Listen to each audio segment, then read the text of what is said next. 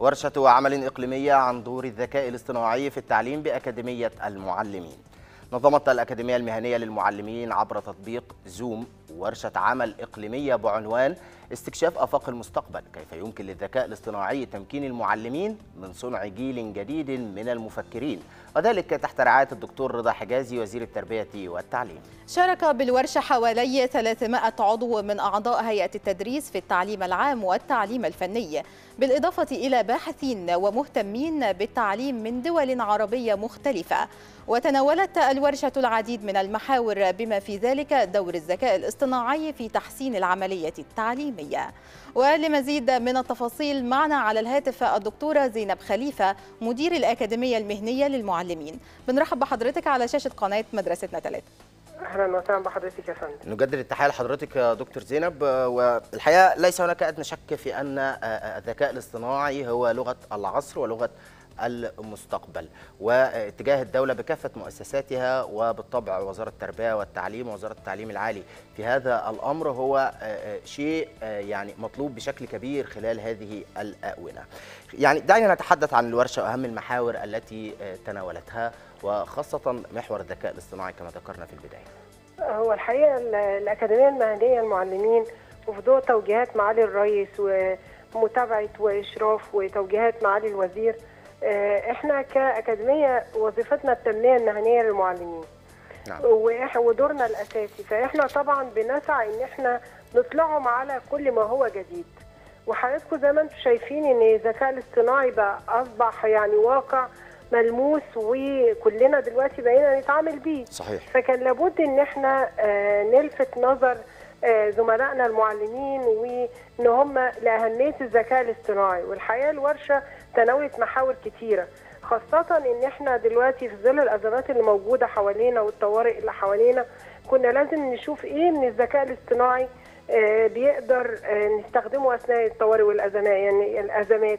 يعني الورشة تناولت الذكاء الاصطناعي تعليم أثناء حالات الطوارئ والأزمات. تكييف طرق الذكاء التدريس باستخدام الذكاء الاصطناعي التوليدي. نعم. والذكاء الاصطناعي التوليدي وتطوير المنهج وأخلاقيات الذكاء الاصطناعي في التعليم. وكان في تصور كده لخارطة طريق لتطبيق الذكاء الاصطناعي في العملية التعليمية.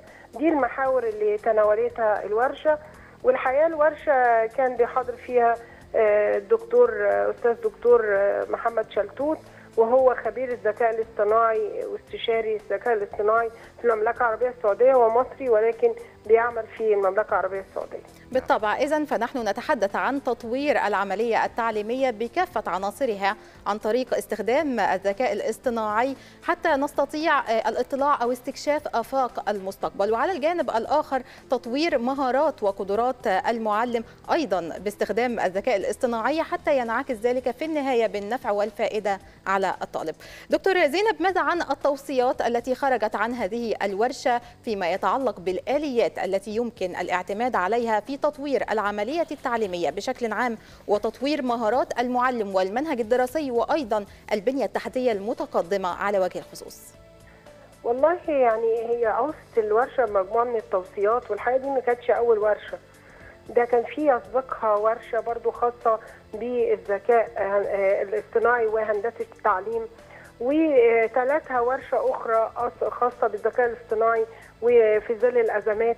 والحقيقة إن إحنا مهتمين جدا بإن إحنا نعمل زي زيادة الوعي ووعي المعلمين وزيادة معلوماتهم والتنميه المهنية على دور الذكاء الاصطناعي. وأنا كمان مهتمة بأخلاقيات استخدام الذكاء الاصطناعي. لأن دي نقطة مهمة جدا. إحنا دلوقتي بقى في عندنا اولادنا بيستخدموه والمعلمين بيستخدموه لابد إن يبقى فيه في ضوء قواعد وأخلاقيات نقدر نوظف فيها الذكاء الاصطناعي بشكل إيجابي. صحيح. وتوصيات الورشة كانت إن إحنا قلنا لابد من إن إحنا تنظيم ورش عمل تدريبية ورش تدريبية مكثفة للمعلمين حول استخدام الذكاء الاصطناعي في التعليم مع التركيز على كيفية دمجها في المناهج الدراسية. وتوظيفها لتعزيز تجربة التعلم وتطوير بنية تحتية تقنية متقدمة على أساس تأمن شبكات الإنترنت والأجهزة وبحيث إنها تدعم استخدام الذكاء الاصطناعي والاشتراك في التطبيقات الذكية. إن إحنا نوظف تطبيقات تحليل البيانات التعليمية. نعم. ودي مهمة جدا لأن أنا بقدر أعمل آه، زي اناليسز عن كل متعلم بقدر أعرف كل متعلم خصائصه إيه واحتياجاته إيه ومشاكله إيه. فبنحدد نقاط القوة والضعف لكل طالب ونقدر نديله دعم في النقاط اللي عنده ضعف فيها ونشوف إيه الموا- المواهب والقدرات المتميزة عنده نقدر نوظفها بطريقة صحيحة. آه، برضو نقدر نوظف أنظمة التعلم التكيفية اللي هي بتستخدم الذكاء الاصطناعي عشان ندي كل متعلم أنظمة التعلم اللي تتناسب معاه آه، وتخصيص التعلم. يعني يبقى في عندي معلم مخصص لكل متعلم في ضوء خصائصه. والحقيقة إن أنا من يومين كده لقيت في عندي دلوقتي بقى عندي بلاتفورم أو منصة تعليمية قايمة على الذكاء الاصطناعي. ومن خلالها ابتدوا يقدر كل واحد يعمل ريجستريشن وبتديله التعلم اللي نعم. يتناسب مع خصائص خصائصه النفسية واحتياجاته التعليمية وقدراته فالحقيقة ده بقى يعني تطور كبير جدا لابد إن إحنا فعلا نحفز معلمينا وطلابنا. على الابتكار صحيح. ويمكن أقول لكم برضو إن إحنا كان عندنا مسابقة يمكن اتكلمتوا أنتوا عنها قبل كده نتيجه نتيجتها إن شاء الله هتبقى يوم 9 لحد ننتظر نتائج هذه المسابقة دكتور زينب. وفي الحقيقة يعني آه، أود أن أشكر حضرتك وأفدتينا وأطلعتينا على كثير من التفصيلات. يعني آه، ربما توظيف آه، المواهب ومقاومات الشباب هذا أمر جيد جدا. وأريد أن أقف عند نقطة ذكرتيها في البداية. ربما يعني هي خارج الإطار شيئا ما لكنها لها ضرورة كبيرة جدا وهو التعليم أثناء الطوارئ والأزمات. وذلك ما يؤكد على أن مصر لا تنتظر حدوث أزمة لتعلم كيفية التعامل معها بل وربما تصدر هذه القدرات والمقاومات للدول المجاورة في أزماتها وفي مشكلاتها والطوارئ التي تعاني منها. بنشكر حضرتك جزيل الشكر مرة أخرى الدكتور زينب خليفة مدير الأكاديمية المهنية للمعلمين على هذه المداخلة.